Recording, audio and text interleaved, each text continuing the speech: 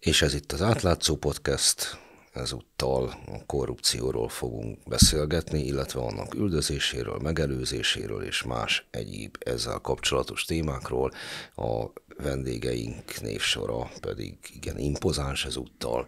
Itt van velünk Bíró Ferenc, az Integritás Hatóság vezetője és a korrupció ellenes munkacsoport elnöke, a korrupció ellenes munkacsoport alelnöke Váradi Szilvia, ügyvéd, illetve jobban ül Bodoki Tamás, az átlátszó főszerkesztője, és Ebéli beválogatott minőségében a korrupció ellenes munkacsoport tagja, a technikai részletekért Szabó Krisztián felelős ezúttal is, én pedig Hont András vagyok.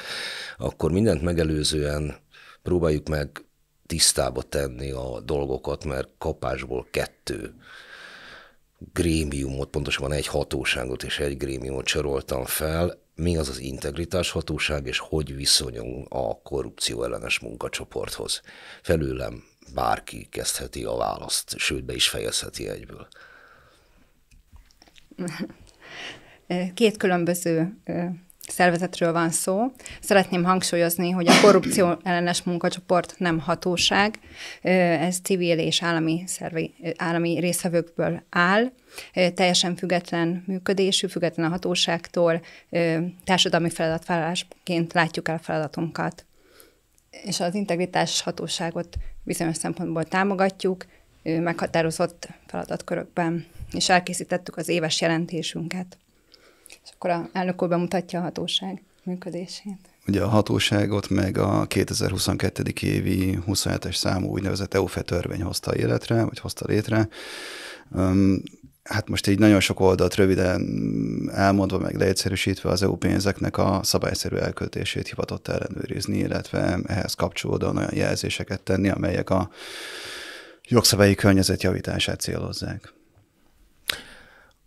Ahogy el is hangzott, a múlt év végén, második felében jött létre az integritás hatóság, és ehhez kapcsolódóan alakult meg a korrupcióellenes munkacsoport.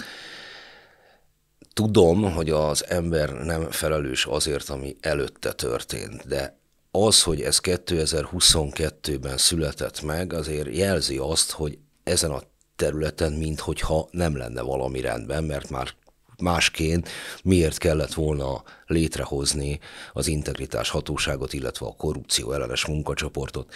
Ez a kérdés egy állítást tartalmazott, és arra vagyok kíváncsi, hogy ezt visszaigazolják-e a jelenlévők. Talán kezdem ezt most én, jó? Az, hogy mi ez a tér, az egy kicsit véleményes, de akkor én válaszolok abból, amit én gondolok. Természetesen nincsen rendben minden. De nem csak Magyarországon, hogyha körbenézünk az EU-ban, hogyha körbenézünk a Balkánon, ha körbenézünk Dél-Amerikában, ad abszurdum egyébként az Amerikai Egyesült Államokban. Tehát, hogy a, a korrupció az mindenhol probléma. Tamás? De akkor, akkor én is kérdeznék, hogy akkor Magyarországon miért kellett 2022-ben egy ilyen szervezetet felállítani, hogy látja? Hát ezt, ezt nem tőlem kéne megkérdezni. Ez nagyon fontos, ugye, hogy a hatóság az alapvetően egy jogalkalmazó. Nem, nem jogalkotó. Én nagyon örülök annak, hogy létre lett hozva a hatóság, de azt hiszem, itt egy csónakban nevezünk mindannyian, mert mindannyian azért csináljuk azt, amit csinálunk, hogy a közélet tisztább legyen. Jó, akkor egy személyesebb részére próbálok kevezni, és akkor ugyanezt a kérdést megpróbálom máshogy feltenni.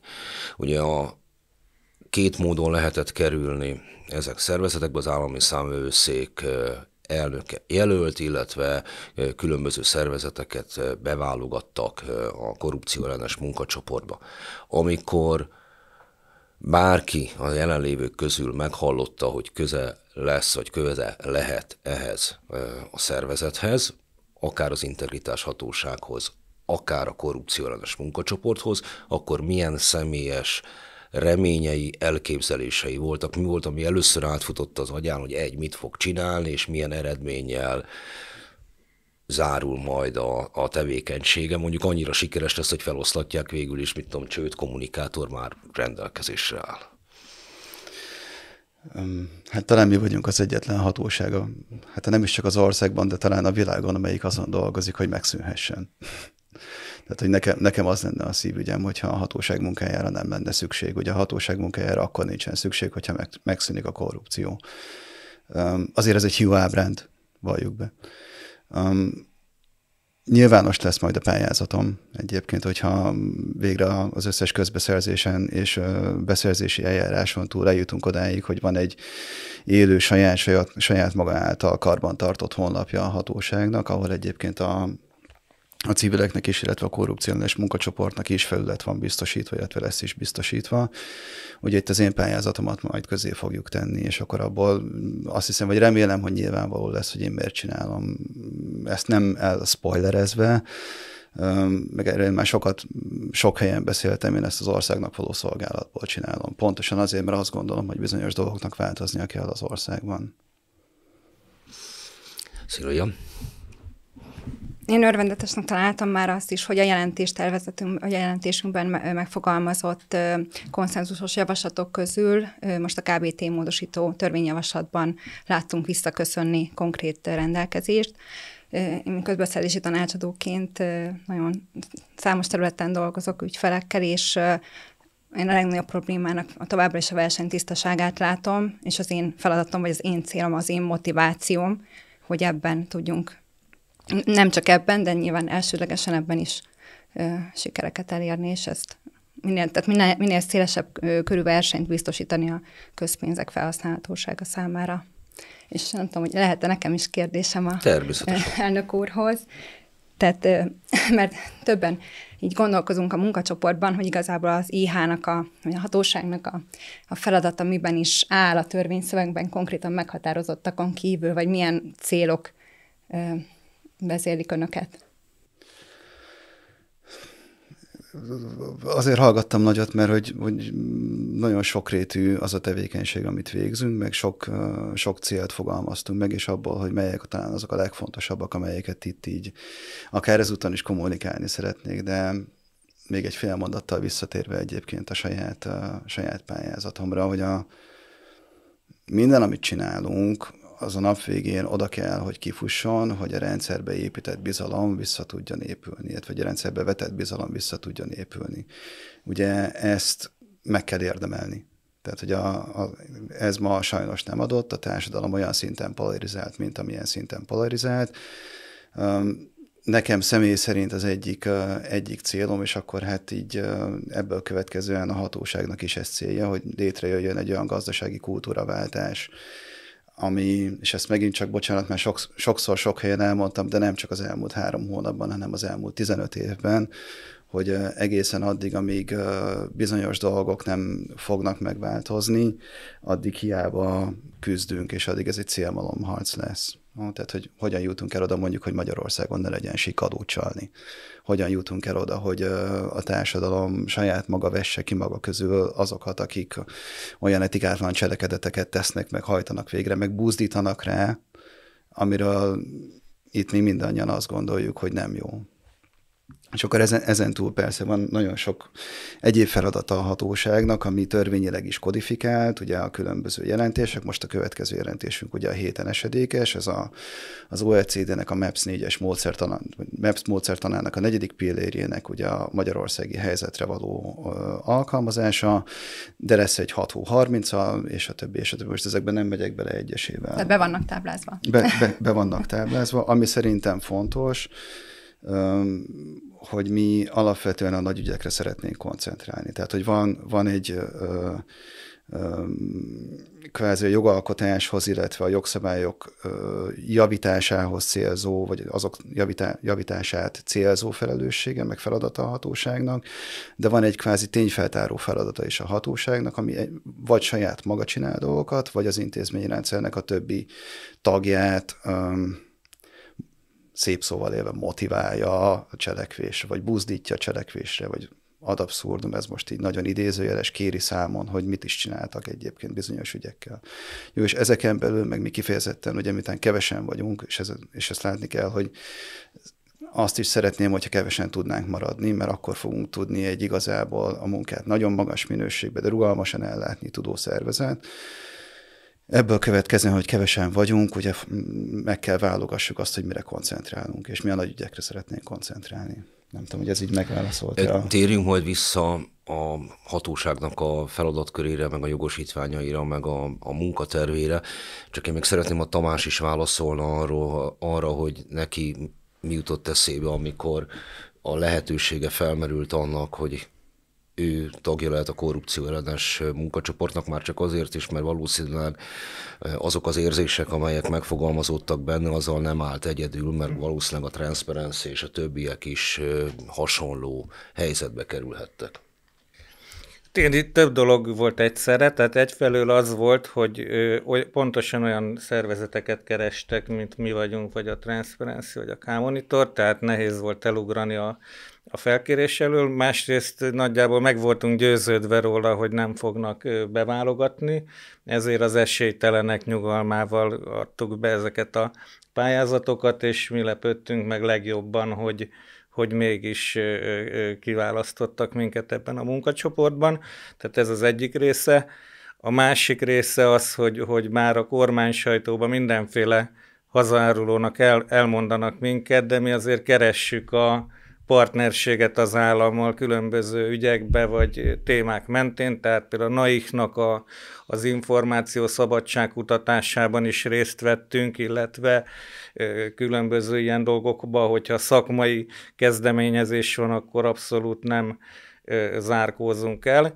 A harmadik pedig az, amit az elnök úr is említett, hogy a nagy ügyek Magyarországon valamiért nem ö, ö, kerülnek a, tehát a hatósági fókuszba, hogy ilyen finoman fogalmazzak, tehát ahogy meg is írtam akkor, hogy a, átlátszom már 2013-tól elkezdett a, az Elios ügyel foglalkozni, és a a, a, már az Olaf vizsgálat előtt gyanúsnak tartottuk, és cikkeket írtunk róla, és utána ezeket a megállapításainkat az Olaf vizsgálat vissza is igazolta, és ennek ellenére Magyarországon semmiféle következménye nem lett ennek a csalássorozatnak, és azt gondolom, hogy egy ilyen integritáshatóság például egy ilyen horderejű ügyben esetleg ezen változtathat. Még annyit szerettem volna, bocsánat, hozzátenni, hogy a, a, az átlátszónak a, a, a pályázata kifejezetten magas színvonalú volt. Jó, szóval hogy itt, itt is szeretnék hozzá gratulálni. Köszönjük szépen! Mennyi szerepe volt abban, hogy az átlátszó K-Monitor Transparency került be a, a korrupció ellenes munkacsoportba? Ezt én Bíró Ferenctől kérdezem. Nem tudom, hogy nekem mennyi szerepem Igen. volt? Um, Hát az igazgatóság tagja vagyok én is, akkor, tehát, hogy, hogy mondjam, tehát ugyanúgy, ugyanúgy ahogy a, a vezetők kiválasztását előírta a törvény, ugyanúgy előírt egy mechanizmust arra is, hogy hogyan kell a tagokat kiválasztani. És ezért volt ugye egy nyilvános pályáztatás, amire aztán hál' Istennek egyébként, most meg nem mondom már fejből, de 20 valahány pályázat érkezett. A, a az alkalmassági bizottsággal egyeztetve alakítottunk ki egy szempontrendszert, mielőtt láttuk volna egyébként a pályázatokat, hogy hogyan fogjuk elbírálni magukat a pályázatokat, és aki ezt a, a hál' Istennek ebből a 24-ből egyébként volt ilyen 20 közeli, ami értékelhető volt. És akkor ebből a, a top 10 volt az, amit, az, amit beválogattunk. Úgyhogy a, a szempontrendszer kialakításában természetesen volt szerepem, olyan szintű ráhatásom, hogy akkor most valaki részt vegyen, vagy valaki ne vegyen részt, olyan nem volt, nem tudott lenni definíció szerint. Teljesen szabad kezük volt a kiválasztáskor. Persze. Jó, hát azért magyar, magyar állam különböző bugyrai tekintve ez, ez nem teljesen ilyen légből kapott kérdés volt. Ez, ez, ez nagyon jó, hogy mondjam, mert akkor ezt most itt így szeretném így, így, így, így nagy, nagy plánum előtt is elmondani, meg, meg megértetni, meg nem akarok nagyon fellengzős, meg pártoszos szavakat használni, de tényleg ez nagyon fontos, hogy mindenki értse, hogy ezt a munkát én úgy vállaltam el, vagy úgy pályáztam meg, azzal, hogy miután elolvastam a törvénytervezetet, hogy ez egy független hatóság. A független hatóság az azt jelenti az én olvasatomban, hogy az független a kormánytól, az független egyébként a civilektől, és az független az EU-tól is. Jó, és ez nagyon fontos, hogy a mi objektív munkavégzésünknek az áloga az a függetlenségünk. Ez csak így ezt És amennyiben úgy érzi, hogy a függetlensége sérül, akkor mit fog tenni? Mi melyik lesz? Nem. Milyen olyan aktus képzelhető el, amelyet ön úgy értékel már, hogy a függetlensége sérül, és akkor adott esetben egy ilyen hipotetikus helyzetben ön mit tesz? Én hát most hál' Istennek van annyi dolgunk, hogy azzal foglalkozzak, ami ténylegesen előttem van probléma, úgyhogy ilyen hipotetikus verziókkal, vagy hipotet- hipotézisekkel nem nagyon szoktam foglalkozni. De hogyha nagyon meg akarom magam erőltetni, akkor biztos tudok erre valami jó választ, meg egy jó helyzetet elővarázsolni, most így annyira nem szeretnék. De az biztos, hogy a, hogy a, a, a hatóság léte az a függetlenségén alapszik, és hogyha nem tud független lenni, akkor nagyon át kell gondolni mindenkinek, aki a hatóságban jelen pillanatban szerepet vállal, hogy, hogyan fogja tovább tudni akarni, vagy tudni csinálni azt, amit csinál. Tehát ha mondjuk például van egy miniszter, civilben adott esetben egy állami birtokot is vezet, és ahhoz kapcsolódó közbeszerzési eljárásokat vizsgálni kell, és ő oda megy, és kihúzza a, az integritás hatóság asztaláról a papírokat, hogy ezzel nem kell foglalkozni, akkor az integritás hatóság jelenlegi vezetésének működése véget is ér, jól érthettem? Én nem, nem ezt mondtam. Azt mondtam, hogy nem tudok elképzelni, vagy pillanatnyilag nem szeretnék elképzelni egy hipotetikus helyzetet. Jó, akkor a hipotetikus helyzetekről térünk vissza a valósághoz, és a, ahhoz a részhez, amit már érintettünk, az, annak a két arcúságnak egy kicsikét a boncolgatását, hogy egyfelől van az integritás hatóság, amely egy profiltisztább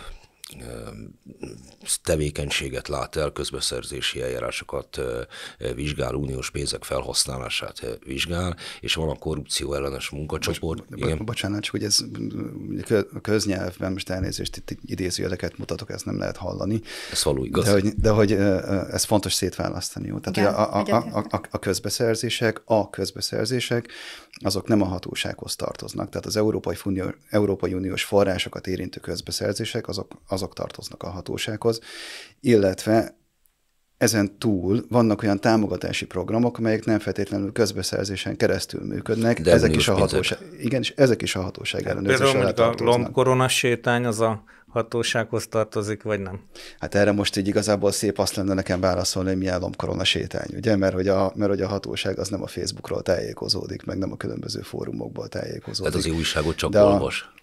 Öm, persze olvasok, sokféle újságot is olvasok ráadásnak. Tehát, hogy a, azt gondolom, hogy így önmagában nagyon fontos a, a szubjektív elemet kivenni a rendszerből, és akkor ez, ezt azért mondom, hogy, hogy azt is el tudjam mondani, meg azt, az is értető legyen, hogy mindegy kell, hogy legyen, hogy a hatóság elnöke mit olvas. Jó, meg hogy a hatóság elnökét milyen impulzusok érik egyébként, és hogy megáll mellette adott esetben egy fekete autó, egy, egy csak befejezem talán, bocsánat, elnézést, egy fél mondat. A, az a vizsgálati rendszer, ami össze van rakva, és az a kockázateremzési rendszer egyébként, amit a hatóságnak saját magának kötelező törvényen, törvényi alapokon állva futtatnia, azt eredményezi, hogy az egyes ügyek, illetve az egyes tranzakciók olyan szűrőn mennek át, ami eliminálja a humán inputot, amennyire lehet, illetve a szubjektív döntést, amennyire lehet. Tehát, hogyha lesznek olyan tranzakciók, támogatási programok, és a többi, és a többi, amelyek bizonyos kockázati markereket felvonultatnak, akkor azok óvatatlanul a hatóság látó körébe kerülnek, és onnantól már csak ugye a hatóságnak az a dolga, hogy az erőforrásait megfelelően tudja fókuszálni. Hogyha nem kerülnek oda, akkor nem fog magától a hatóság indítani akarni egy vizsgálatot. Jó? Tehát, hogy ezt így a bejelentésekre, és utána ígérem, odaadom a szót, bocsánat, a, a bejelentésekre, meg ugye a bejelentésekkel meg kötelező foglalkoznia. Jó, tehát ott, ott, ott az meg nem egy szabadon választott kűr, hogy akkor ezt most csinálom, nem csinálom, amivel kapcsolatosan bejelentés érkezik a hatósághoz, azzal a hatóság foglalkozik, pont. Egyébként azzal kapcsolatban, hogy az embereket nyilván érdekli, hogy egy fél, évre, fél éve létrejött hatóság milyen ügyidenti, vagy milyen ügyszámmal ö, dolgozik, hogy nyilván nem egy pontos számot, de úgy nagyságrendileg, hogy ez a társadalmat mennyire ö, ö, érdekli, mennyire aktívak az állampolgárok. Mhm. Én többet vártam, meg többet várnék egyébként, uh-huh. tehát, hogy így van saját etikai forródrótunk, ezt nagyon szépen kérem, hogy használják az emberek. Ez fontos, hogy hozzánk olyan információk jussanak el, amik amik, amiket az emberek fontosnak tartanak. Egyébként viszonylag nagy számban kapunk bejelentéseket, de nem akkor a számban, amekkorára én gondoltam, hogy kapni fogjuk.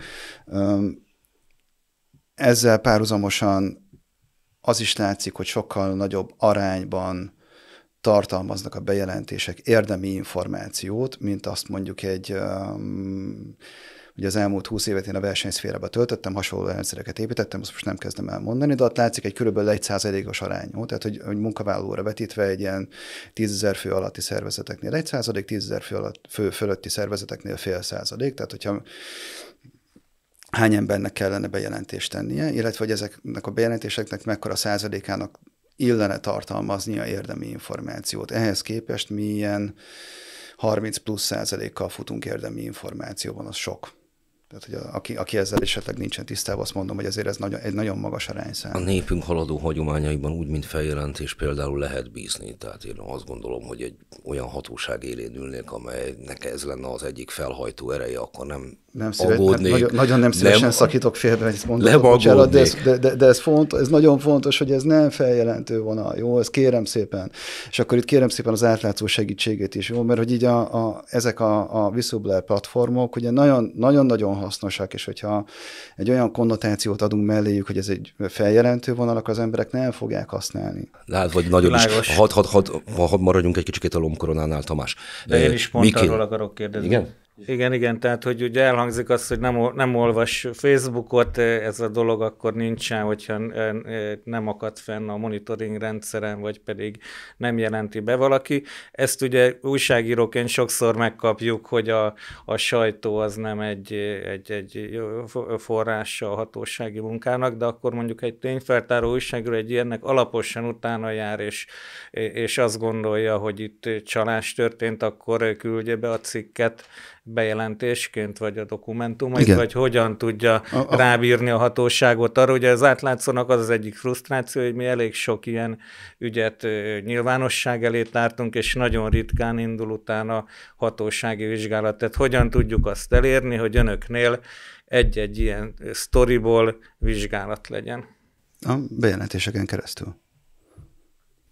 Tehát ez, ez, amit mondtam az előbb, hogy, hogy bejelentésekkel foglalkozni a hatóságnak, az nem opcionális.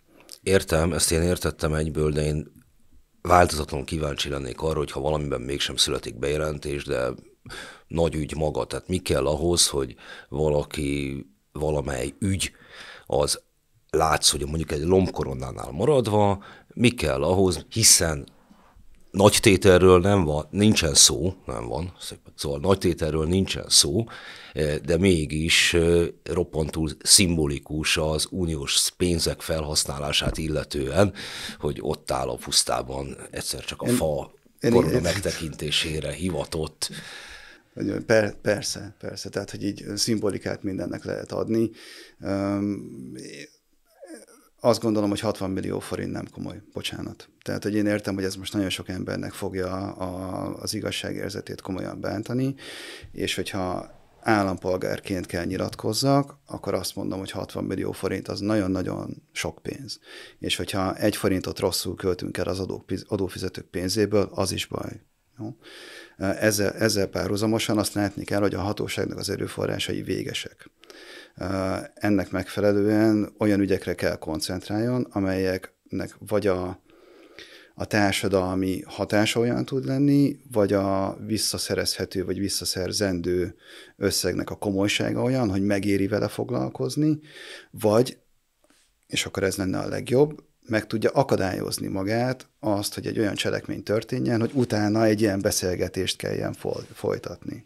No. És mi az az összeghatár, ami fölött mondjuk már komolynak tart egy ügyet? Én erre most így nem tudok válaszolni. De úgy nagyságrendileg? Biztos, hogy több száz millió forint fölött. Jó, térjünk akkor vissza a integritáshatóság versus korrupció ellenes munkacsoportra. A korrupció ellenes munkacsoport viszont szélesebb témával rendelkezik, mert nem tudom azt mondani, hogy feladatkörrel, mert hát ilyesmivel nem, nem bír. Van, van, van neki van egy törvény, abban meg van határozva, hogy mi a feladatköre a, a munkacsoportnak. Oké, okay, rendben, de nem hatóság, tehát számon kérni is, tényleg hogyan lehet számon kérni a korrupcióellenes munkacsoportot, vagy hogyan lehet mérni egyáltalán, mikortól sikeres. Mert a hatóság esetében még csak-csak lehet ilyesmiket mondani. Ezt kérdezem mindenkitől.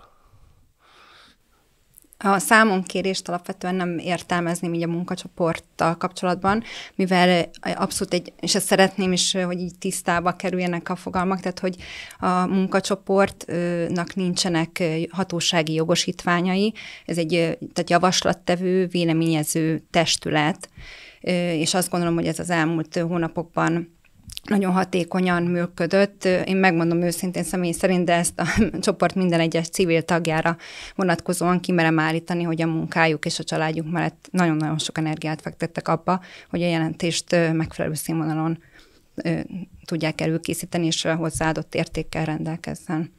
Hát meg én azt gondolom, hogy az azon is mérhető, hogy a civil, jav, mert ugye ez nem egy tisztán civil munkacsoport, hanem a fele civil, a fele pedig állami delegált.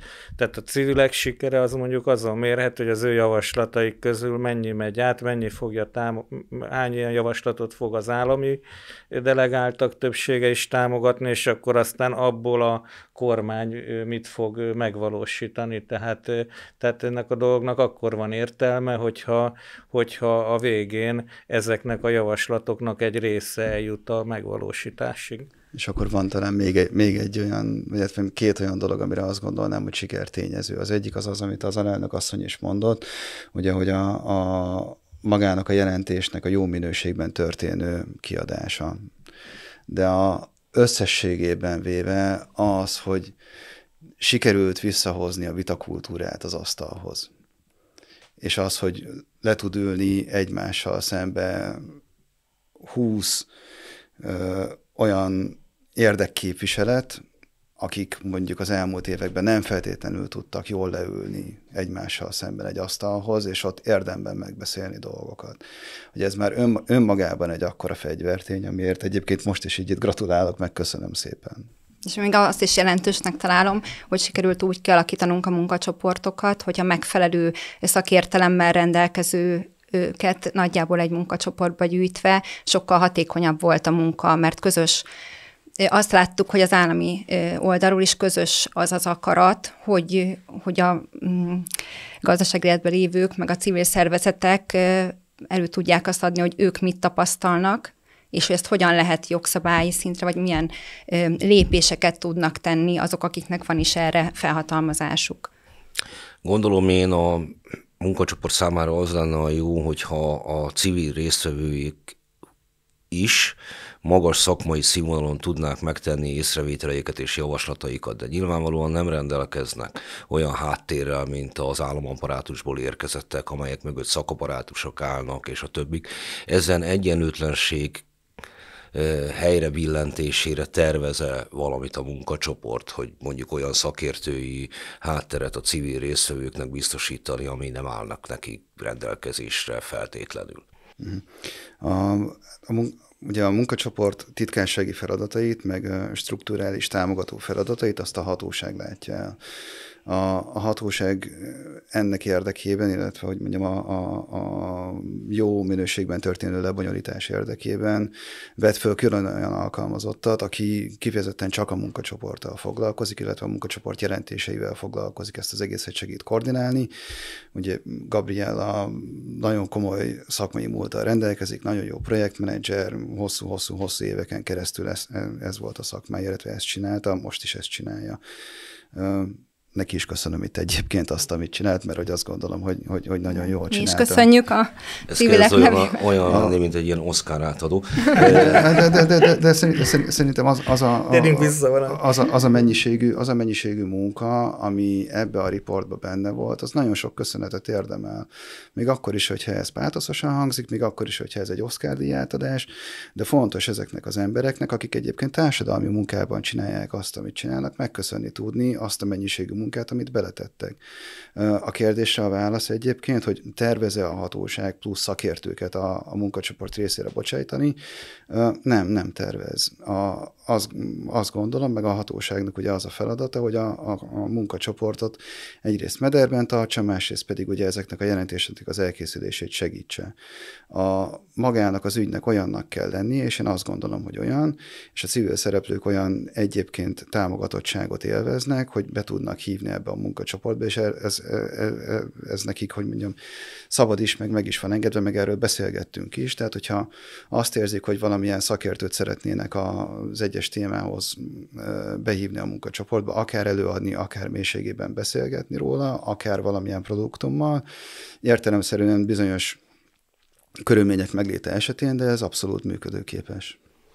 Jó, be fogom fejezni, de még azért elvárnám ezt a szállat a munkacsoport és a hatóság közötti különbségek boncolgatását illetően. Szóval, hogy értem én, hogy az uniós pénzek felhasználása többnyire közbeszerzés, de nem feltétlenül, hanem mert vannak egyéb támogatási formák is, amelyek uniós forrásból valósulnak meg, és a hatóság látókörébe tartoznak, míg ugye a korrupciós munkacsoport egy szélesebb spektrumot ölel át, hogy az uniós pénzek felhasználásának rigorózus nyomonkövetése az egész rendszernek, az uniós pénzek felhasználásának tisztasága az egy ügy, de hát ez ugye egy adott gazdasági környezetben van. Tehát, hogyha mondjuk egy adott gazdasági környezet züllött, vagy nem felel meg egy magas mondjuk vállalati elvárásoknak, amit mondjuk megszokott a privát szférában, akkor hiába jók az uniós források felhasználásának a mutatói, mégiscsak lehet egy feszültség mondjuk munkacsoporton belül, amelyik érzékeli a gazdasági valóság egészét. Magyarán szóval, hogyha egy kor, korrupt az ország, akkor hiába vannak ebben fedhetetlen eljárások, a végeredménye mégsem lesz hótiszta. Nem tartanak a résztvevők az ebből fakadó konfliktusoktól, vagy meg, meg nem értéstől, vagy nem tudom, hogyan fogalmazzak még. Hogy mondjam, a, az átlátszónak a teljes meg nem értettséghez lehet viszonyítani bármit, tehát hogyha nekünk egy javaslatunk átmegy itt a, ezen a fórumon, az már pont egyel több, mint amit eddig tőlünk elfogadtak, tehát, tehát hogy mondjam, elég alacsonyan van a mérce ilyen szempontból.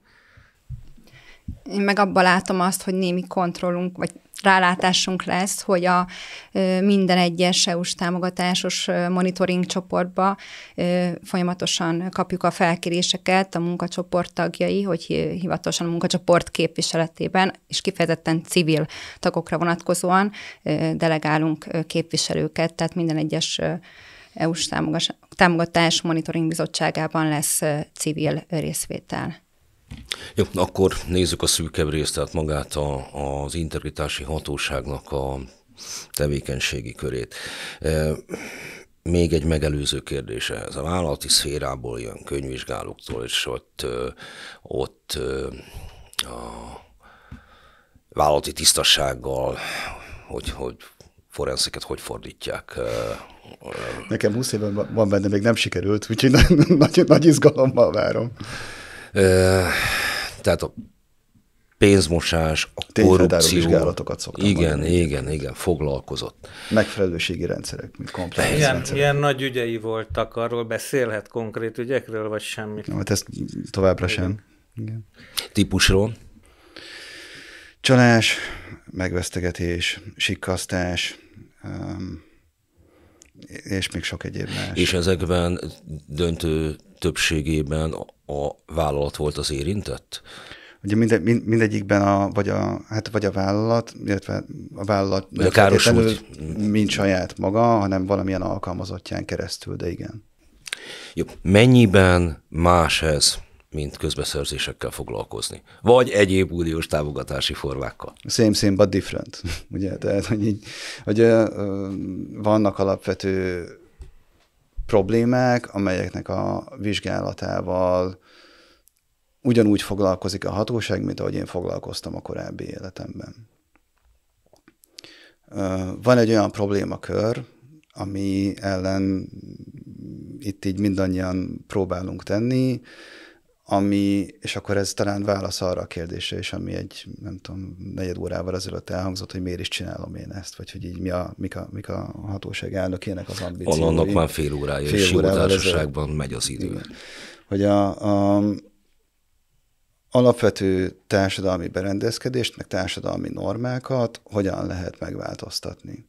És akkor ugyanaz, ugyanazt vizsgálom, meg ugyanazt csinálja a hatóság, mint amit én csináltam, illetve a hatóságnak, bocsánat, a tevékenységének ez a szelete, az gyakorlatilag ugyanaz, amit eddig csináltam Pepitában. Jó, van egy közigazgatási hatósági szerepe is, meg a, a különböző nyilvántartások, meg a jogszabályalkotás, a jogszabályalkotásban ugye érdem, érdemi input, most elnézést az angol kifejezésért, de, de maga az, hogy hogyan tudok egy kellő elterelést létrehozni a társadalomban, hogyan tudom azt elérni, hogy egy olyan jogszabályi környezet legyen, ami egyébként magukat a, magát a konzekvenciákat tisztává teszi, hogyan tudom azt elérni, hogy legyen egy konzekvens szankcionálás, és hogyan tudok elérni egy pozitív motivációt ezzel együtt, tehát hogyan tudom egyszerre alkalmazni azt, hogy erre nem jó menni, most így bocsánat, itt a bal oldalt, bal kezemet mutatom, vagy az éjszakot mutatom, délre meg jobb menni. Tehát, hogy így a, a két, két utat kell felrajzolni, illetve két, mind a két lehetőséget kezelni kell tudni.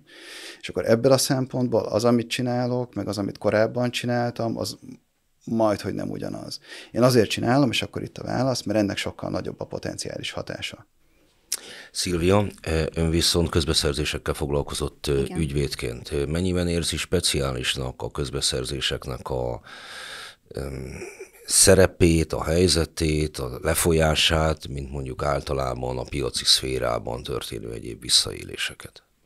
Mm, amiatt, hogy erre tehát a közbeszerzésekkel kapcsolatban külön almunkacsoportot hoztunk létre, amelynek én is tagja vagyok, de a társelnöke, a civil társelnöke egyébként egy közbeszerzési szervezetnek a vezetője, tehát ő a úgymond a teljes közbeszerzési szakértői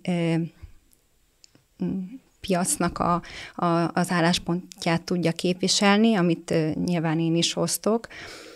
Ezért mi kifejezetten tudunk speciális rendelkezésekkel foglalkozni. Tehát azért voltak a jelentésben is olyan ö, felvetéseink, és azért is örültünk, hogy van, amit már most jogszabálytervezet, vagy jogszabálymódosítás tervezett formájában ö, viszont látunk, ö, mert így rá tudunk kifejezett rendelkezésekkel, kifejezett problémákra ö, koncentrálunk, és ezáltal tudjuk jelezni direktben a, az állami ö, résztvevők felé a, a, a valós piaci igényeket amelyek érintik a versenytisztaságát, közpénz felhasználást, átláthatóságot, dokumentumokhoz való hozzáférést, adatokhoz hozzáférést. Jó, akkor úgy adott egyfelől... Tehát egy, ez egy jelentős szelete a munkacsoport feladatainak, de nem az összes. Értem, de eljárásokról beszélt. Közpénzfelhasználás, átláthatás, tisztaság. Ti... Mi nem konkrét, tehát azt szeretném leszögezni, hogy a hatósággal ellentétben a munkacsoport konkrét eljárásokat nem vizsgálhat, erről nem is kaphatunk információt. Ezáltal ugye nyilván mindenki a saját szakmáját megfelelően tudja végezni, hogy ezt társadalmi feladatként el tudjuk látni, viszont elmondhatom, hogy minden civil tagnak legalább 20 éves van, hanem több szakmai tapasztalat van azon a területen, amit ő a legerősebben képvisel, vagy amiben a leg, legnagyobb tudással rendelkezik. Ezáltal megfelelő rálátása van arra, hogy milyen hiátusokkal rendelkezik a rendszer. A másik aspektus, hogy nekünk meggyőződésünk, hogy nem feltétlenül csak jogszabálymódosításokkal, ami természetesen fontos, de mint a jelentésünkben is felvetettünk több pontban, hogy az edukációt nagyon fontosnak tartjuk, és és ugyanúgy, ahogy elnök úr is említette, hogy vállalatoknál is az, hogy egy magatartás si normát elvárnak, van ennek egy szankcionálása, azt nagyon fontosnak tartanánk, hogy minden egyéb állami területen is bevezetésre kerüljön. Oké, okay, de ez az állami rész, csak akkor itt jön be az átlátszó, meg egy harmadik szempontot hoz, mert egyfelől van ugye vállalati eljárás, hogy általában mindenféle visszaélés. Van egyértelmű károsult a cég maga közbeszerzéseknél picikét bonyolultabb, főleg ha uniós pénzből van, mert a károsodás az maximum az elmaradt haszon, hogy lehetett volna hatékonyabban is felhasználni, hogyha tisztán kezelik. Na de hát mi van abban az esetben, amikor egy adott településen ugyanaz a három cég jelentkezik tíz éve az összes közbeszerzési pályázatra, károsult nincs, az eljárás az hótiszta, de hát mi ezzel találkoztunk a praxisunkban nem is egyszer, hogy adott település összes közbeszerzését egy cég nyeri, vagy hát, vagy valamelyik Ön, ön a meghívásos tenderekre gondol, az még csak nem is Alapvetően, kell mert hozzá. csak azzal kapcsolatban szeretném azt elmondani, hogy itt módosítás történt már jogszabályban is, úgyhogy az EU-s támogatásoknál kizárt lesz az, hogy közvetlen felhívással lehessen a piaci szereplőket, tehát van egy elektronikus közbeszerzési rendszer, aminek nyilván, ami nyilvános minden egyes közbeszerzési eljárás, tehát most már az EU-s támogatásoknál megszünteti azt a lehetőséget, hogy közvetlenül maguk a forrással rendelkezők választák ki azokat a gazdasági szereplőket, akiket ők szerződéses partnerként szeretnének látni. Attól függetlenül munkacsoportként mi tettünk ezzel kapcsolatban további módosító javaslatot, mert álláspontunk szerint ezt ki kellene terjeszteni a központi forrásból lefolytatott közbeszerzési eljárásokra is. Igen, vagy hát egy hasonló dolog volt, amit most nemrég írtunk meg, hogy az is azt teljesen tiszta eljárásba győzött egy autókereskedő cég, aki rövidebb határidőt tudott vállalni, 15 napot autónként, ugye az elég ideális, hogy egy autókereskedő 15 napra kap a gyárból autót, de ő valamiért tudta ezt a határidőt vállalni. Ugye ilyenkor meg az merül fel, de, de borzasztó nehéz lenne bizonyítani, vagy ezt az elnök úrtól kérdezem, hogy ilyenkor mi a bizonyítás, hogy összejátszott a megrendelői oldallal, aki megmondta neki hamarabb, hogy milyen, milyen típusú autókat fog rendelni, és ezért azért tudta 15 napra vállalni, mert, mert ő azt már jó előre berendelte. Úgy tűnik, hogy nem a kérdésre válaszolok, de a kérdésre fogok válaszolni. Jó? A, és akkor talán ahol kezdeném, a nincs károsult. Ugye ez hangzott el, de van károsult. Tehát, hogy a, és ez, ez, ez nagyon fontos, mert hogy mi mindannyian károsultak vagyunk. Jó? Tehát, hogy a, a, a, a, mi, a, a, mi, a mi pénzünket költi el az, aki elkölti. Jogi értelemben nincsen károsult. Tehát jogász vagyok, ez a tipikusan az a bűncselekmény, ahol... Így, így, így, így értem. Ezért Egyébként két, igen, két, van, két, persze. Két, két, mondat, két mondatnyi elmélet, tehát hogy mi kell ahhoz, hogy valaki egy visszaélést kövessen el, ugye ez a klasszikus fraud triangle, ezt most már mindenki ismeri, de kell hozzá egy motiváció, kell hozzá hogy az ellenőrzésnek a hiánya, és akkor a, a, meg kell egy racionalizálás. És a biztosítási cselekmények, illetve a biztosítási csalásoknak a nagy többsége azért követi el, aki elköveti, mert azt gondolja, hogy nincs károsult. Tehát, hogy onnantól elkezdve, hogy kellően messze van az, aki a károsult, nincs meg az az okokozati összefüggés az emberben, aki csinálja, hogy ez neki bármilyen szinten, racion, vagy ezt saját magának racionalizálnia kell, kelljen, vagy kellene, és reggel, amikor belenéz a tükörbe, akkor nem az néz vissza, hogy akkor úristen, most mit csináltam. Hm? Közbeszerzési rendszerben lévő anomáliák. A, hát egyrészt ugye most a hétvégén kiadandó jelentésünk is fog erre részben kitérni, meg választ adni, meg a 6-30-as jelentésünk is fog erre kitérni és választ adni.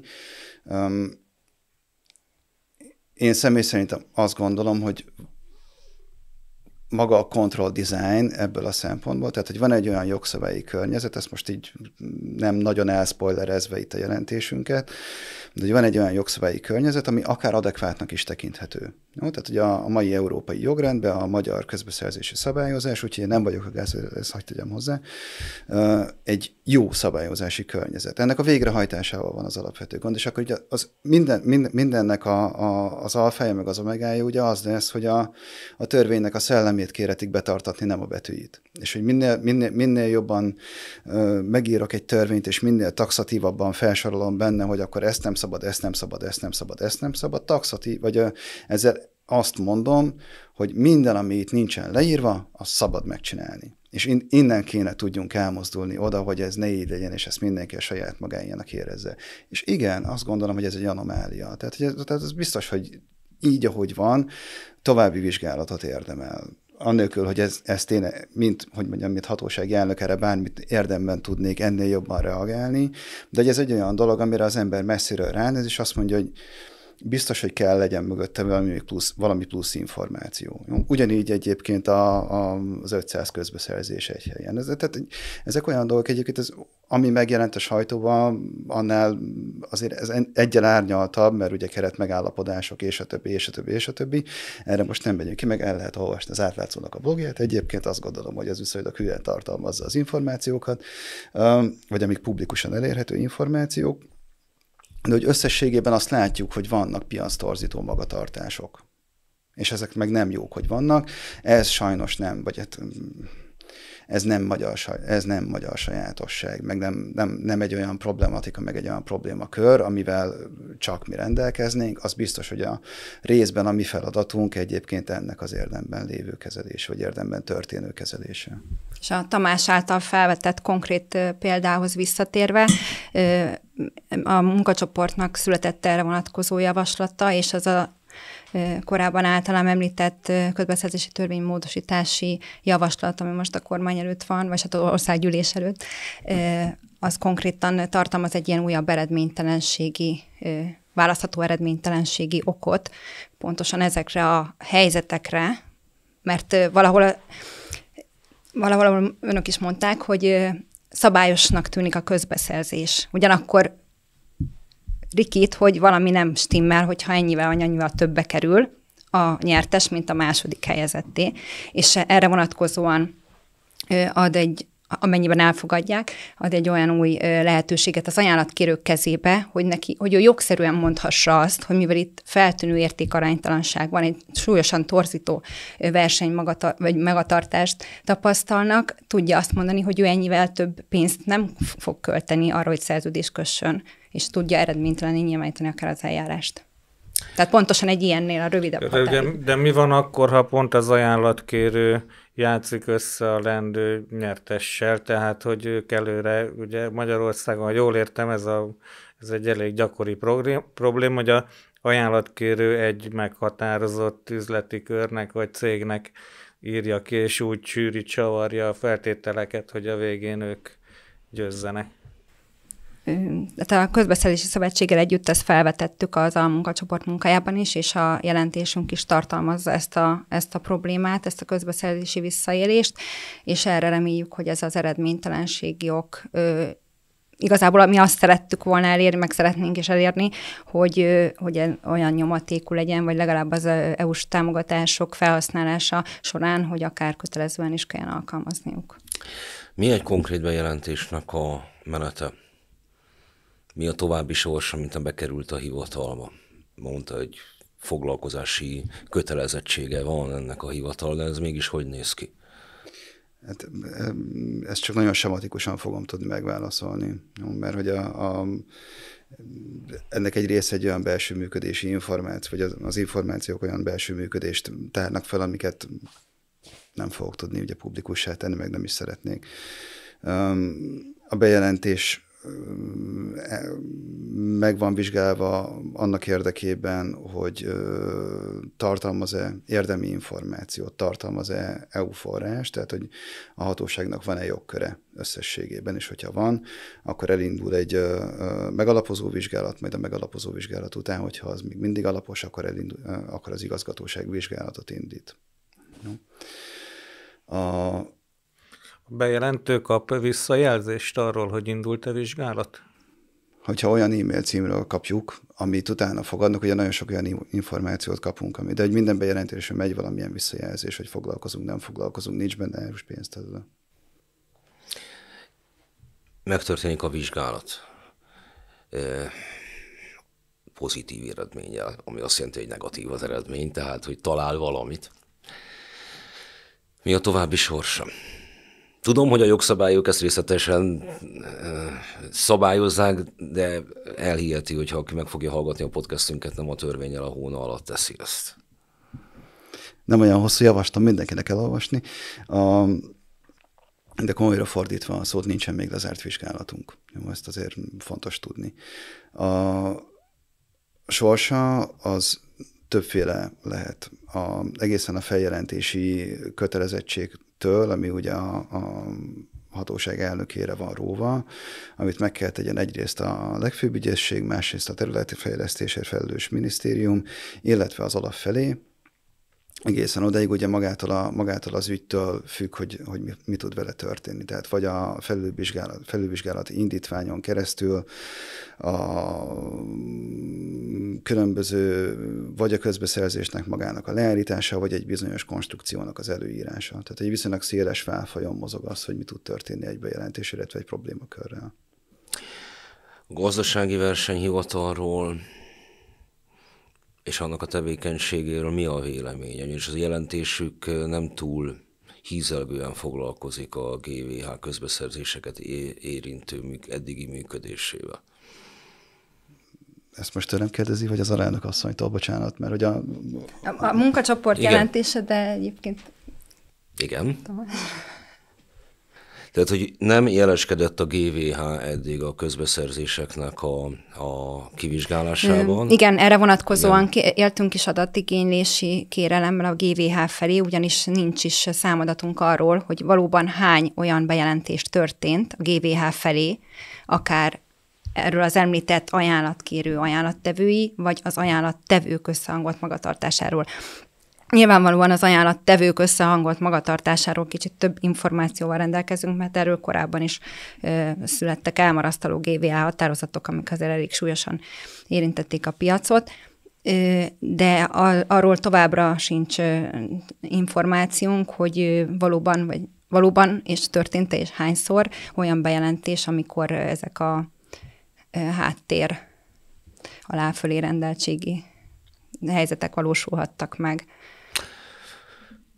Igaza van, mert csak elfelejtettem, mert visszatérdeztem volna, tehát a GVH-t behoztam volna és a munkacsoport jelentését, hogy aztán visszatérjek oda, hogy egyébként attól nem fél, hogy az integritás hatóság az a többi állami szerv mm, gyűrűjében elveszik, mondjuk adott esetben rá van utalva egy másik szervnek a közreműködésére, e, és hiába jut egy vizsgálatban valamire, nem, nem történik semmi.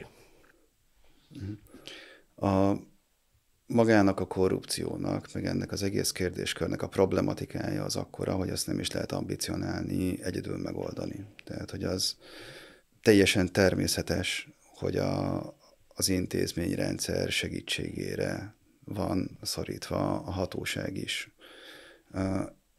Ezt a segítséget akkor ugyanúgy, ahogy így nyilvánosan megköszöntem a civileknek, kénytelen vagyok, vagy szeretném megköszönni a, a, a kormányzatnak, meg az államnak is egyébként, mert hogy a, az a, a támogatás, amit mi a társintézményektől, illetve a hatóságoktól kapunk, az nekünk fontos. És az fontos ahhoz, hogy érdemben tudjuk ellátni a jogköreinket.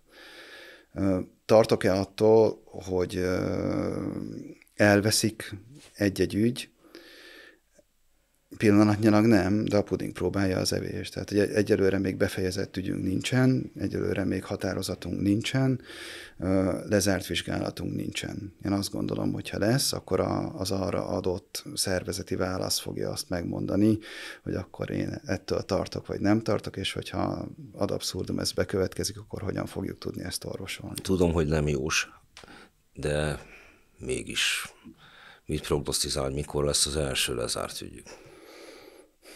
Én azt gondolom, hogy itt a nyár végére kell legyen olyan ügyünk, ami már végigfutott a rendszeren és saját vizsgálaton alapul. És évente körülbelül hány ügyet tudnak kivizsgálni? Nagyon sokat gondolkoztam azon, hogy eh, milyen mérőszámokat tegyünk le a hatóság elé, meg hogyan lehet a hatósági munkatársainak a teljesítményét értékelni, nyomon követni, hogyan lehet a hatóság munkáját értékelni és hogy mik azok a mérőszámok, amelyekről azt gondoljuk, hogy vállalhatóak. És a, azt hiszem, hogy a darabszám az nem az. És azért nem az, mert nem, tehát ha azon mérem, hogy minél több ügyet lásson el a hatóság, akkor egy idő után belekerülök egy olyan gyár ban, meg egy olyan ugye munkakultúraként is azt fogom közvetíteni a munkatársaimnak, hogy az a fontos, hogy futószallagon szállítódjanak ügyek, amelyek meg vannak oldva, így úgy, amúgy, de meg vannak oldva, vagy van eredmény, vagy nincs eredmény, tadada, tadada, tadada. Na és ez az, amit én mindenféleképpen el szeretnék kerülni. Úgyhogy erre tiszteletteljesen az a válaszom, hogy nem tudom. Nem darabszámra kiélezve vezetem a hatóságot, hanem hatásra. Ez, ez nagyon jó hír nekünk, mert ugye az mindennapi tapasztalat, hogy a, az ügyek egy jelentős részében ugyanolyan módszerek köszönnek vissza. Ezek többféleképpen lehetnek, de vannak tipikus ügycsoportok, amelyeknél az érdekkörök is ugyanazok lehetnek, és az eljárások is. Például ilyen átlátszós ügy volt az elmúlt időszakból, még évekből az öveges program, ami vidéki településeknek a természettudományi oktatását emelni hivatott, ahol, ahol települések sokasságában csinálták ugyanazzal a módszerrel. Tehát, hogy mit csinálnak akkor, hogyha egy módszerre bukkannak. Vagy ki tudnak-e szűrni bármit, ahol ami visszaköszön sok-sok közbeszerzési eljárásban, mert akkor valóban nem kell ilyen teljesítmény alapú normákat két... gyártani. Igen ez rávilágít, a kérdés maga rávilágít a, arra is, hogy a hatóság többféle vizsgálatot folytat, vagy folytathat. Jó? Az, egyik, az egyik az úgynevezett célvizsgálatok, ami bejelentés, kockázatértékelés és a többi alapján indít a hatóság. A másik meg, amit ugyanolyan saját kockázatértékelés alapján, de tematikus vizsgálatok.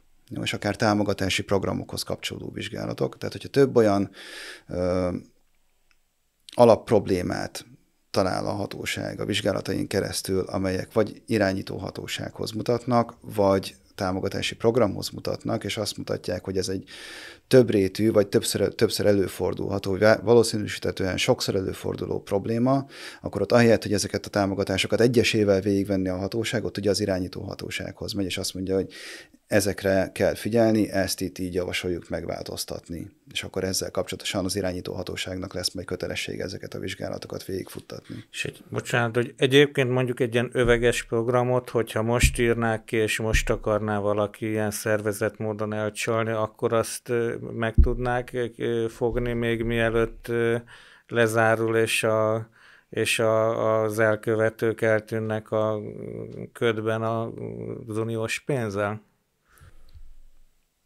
Hát ez, ezt a kérdést úgy tudom megválaszolni, hogy szeretnénk-e. Tehát, hogy szeretni szeretnénk, persze. Mhm. De hogy erre van módszertan, hogy, vagy, vagy jogos, jogosítványuk, hogy, hogy menet közben egy ilyenbe be, beavatkozzanak, hogyha arra, az, az, az, az, valamiféle csalásgyanú vagy, vagy... Arra, arra kifejezetten lehetőséget ad a törvény, ad a törvény hogyha olyan közbeszerzéseket vagy támogatási programokat lát a hatóság, amelyekkel valamilyen szabálytalanságot érzékel, vagy annak a potenciális előfordulására való lehetőséget érzékel, és ez nagyon fontos, mert ez nem így van kodifikálva, vagy nincs így kodifikálva a törvényben, de mi így értelmezzük, akkor igen, igenis van arra lehetőség, hogy megpróbáljon legalább a hatóság közbelépni. És ha már öveges program, és a konkrét példa, és mi van abban az esetben, hogyha az irányító hatóság felelőssége merül fel, a kiíró felelőssége merül fel, mondjuk ezt nem túl szakszerűen megállapít, mondjuk adott esetben a gombhoz a kabát kérdése merül fel, hogy előbb van meg, hogy mit akarok elkölteni, és valaki az államigazgatásban lévő kapcsolatrendszerével el is éri azt, hogy hogy-hogy nem legyen egy ilyen tender. Szóval, hogyha valami ilyesmit érzékelnek, akkor mi van? Ez egy olyan hipotetikus kérdés, amire most így nincsen válaszom. Tehát, hogy a, a, azt gondolom, hogy ez egy... De nem mondja, hogy nem látott már ilyet. A hatóságnak még nincs ilyen tapasztalata. Tehát, én, ezt, a, a, a, én is azt is értem, hogy az újságolvasót is ki kell zárni, én ezt értem, de hát nem, a gazdasági nem, nem, életből nem, jön. Nem, tehát... pont, nem, pont, nem, nem, az, nem az, az nagyon fontos, hogy a, a, amit az előbb elmondtam, ugye, hogy a szubjektív elemet nekem ebből a, a, a pakliból, most így jobb szó ilyen, ki kell vennem, és az így néz ki. Az így néz ki, mert vizsgálóként nem alkothatok egy olyan véleményt, amit egyébként 15 évvel ezelőtt, vagy 10 évvel ezelőtt a magánszemélyként olvastam valahol, vagy beszélgettem valakivel. Tehát a hatóság az objektíven kell, hogy végezze a munkáját. Objektíven meg úgy fogja tudni végezni a munkáját, hogyha tényleges tényekre alapozva hozza meg a döntéseit, és nem pedig korábbi percepciókra. És ez nagyon fontos. Én és én ezt értem, hogy mindenkinek az az elvárása, vagy nagyon sok embernek az az elvárása, hogy akkor a hatóság itt most miket fog csinálni, meg hogyan fogja csinálni, meg hát mit kell ezen mit gondolkodni, hiszen látjátok, hát ti is ebben az országban éltek, és hogyha nem ezt csináljátok, akkor tulajdonképpen sóhivatal vagytok, és minek vagytok itt is. De nem, nem, nem. Tehát ez egy, ez egy autonóm, független hatóság, ami tényekre alapozva fog dönteni. De erre rá is akartunk kérdezni, hogy az mit szól, hogy ekkora szkepticizmus övezi ennek a hatóságnak a létrejöttét, tehát én is megkaptam a, a munkacsoport tagság miatt, hogy itt részt veszünk valaminek a, a, egy, egy, egy ilyen áltevékenységbe, ami tulajdonképpen a, a magyarországi korrupciónak a leplezését szolgálja. Én is megkaptam a miért ez neked, mit kaptál, lettem hirtelen mocskos Fidesz Bérenc, tehát minden voltam hirtelen, csak szép ember nem. A, most erre mit mondjak? Tehát, hogy a, az, hogy én ezt miért csinálom, azt én tudom, meg én ezt elmondtam tök őszintén, hogyha valaki nem hiszi, járjon utána. Pont. Többször hangsúlyozta a függetlenséget. Nincsen benne mégis valami ironikus, hogy az irodájuk az a miniszterelnökség több egységével együtt van? Sőt, mi több, én választottam. És úgy, és úgy, és úgy választottam, hogy kerestünk magunknak egy olyan helyet, ami egyébként még mindig zajlik ez a keresés, amit a hatóság saját maga tud üzemeltetni. Egy szobát ki tudok adni, majd utána meg tudjuk beszélni. Köszönöm szépen, mindenféleképpen nagyra értékelem a felajánlást. Tehát, hogy kerestünk magunknak egy olyan helyet, ahol elférünk, jó, és normális, normális munkakörülmények között tudunk dolgozni. A, az, amit mi most kivettünk, a, az egy másfél éves albérlet egyébként, egy amerikai cégtől vettük albérletbe, ez az amerikai cég nek van egy 2024 végéig szóló szerződése, kevesebben lettek, teljesen mindegy miért, benragadtak ebben a szerződésben, úgyhogy mi a piaci ár alatt 30%-kal tudtuk ezt az ingatlant bérbe venni, amire azt gondolom, hogy iskola példája annak, hogy hogyan kell az adóvezetők pénzére vigyázni. Az, hogy a miniszterelnökségnek több uh, irodája vagy uh, intézménye is van a házban, az nekünk kifejezetten előnyös, mert az a kormányzati gerincháló, ami a hatóságnak szükséges ahhoz, hogy a feladatát érdemben el tudja végezni, ez nem kellett több kilométerre valahova máshova több tízmillió forintért kihúzva legyen. Úgyhogy azt gondolom, hogy nem, nem ironikus, sőt, mi több nagyon büszke vagyok rá, hogy oda tudtunk költözni ilyen körülmények között, ilyen rövid idő alatt. Ugye Tamás, az, amit a Tékom épített, és mint a szerződés kötése előtt villámgyorsan át is adta az origót. Ja, ez a kormányzati, lehet, nem tudom, hogy ez pont az de volt ilyen, igen. Mert ez sem, ez sem tiszta korrupció. Na. Sőt, e... sőt, sőt mi többet, magát a Spenót házat is ugye már kétszer ellopták. Ugye egyszer, amikor a 60-as években építették, mert akkor tíz évig épült, mert ellopták belőle az anyagokat, egyszer meg amikor ugye a németek most építették, akkor meg ugye a terveket. És ráadásul pereltek is a Spenót kifejezés miatt, nem tudom melyik sortú orgánumot. Akkor térjünk vissza az elejére, kvázi mint egy keretbe foglalva a beszélgetésünket. Nyilvánvalóan van valami oka annak, hogy az integritás hatóság felállt a múlt év végén, nyilvánvalóan a kormány szeretne előbb-utóbb hozzájutni az uniós forrásokhoz, nyilvánvalóan ez az kell, hogy prezentálni tudja, hogy az uniós források elköltése az utolsó eurócentig tisztán, maradéktalanul tisztán történik. Ugyanakkor ez nagyrészt marketing is, nem csupán ö, ö, szabályozások, amik ugye nem érintik a, a, az önök munkásságát, sem az integritás hatóságét, sem a munkacsoportét. Viszont a visszajelzések már ebbe a kategóriában. Mindenkitől szeretném megkérdezni, hogy amióta részt vesz akár a hatóság, akár a munkacsoport működésében, milyen visszajelzései voltak, mindenkinél majd konkrétat is kérdezek. Először Bíró Ferenctől kérdezem, hiszen egy nagy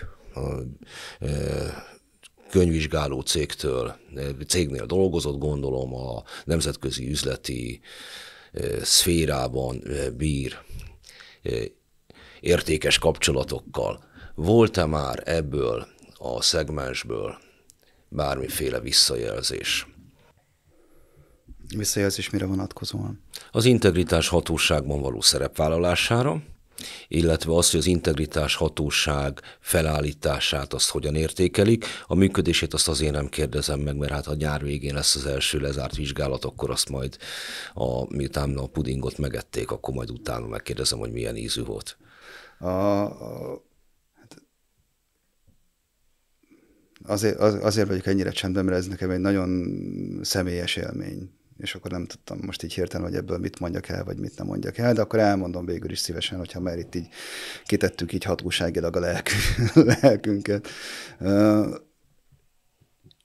Az a mennyiségű pozitív üzenet, amit én kaptam, amikor kiderült, hogy a köztársasági elnök asszony engem nevez ki ennek a hatóságnak az élére, az hát emberileg is meg szakmailag is nagyon, hát egyrészt megrendítő volt, másrészt meg nagyon sok erőt adott. A,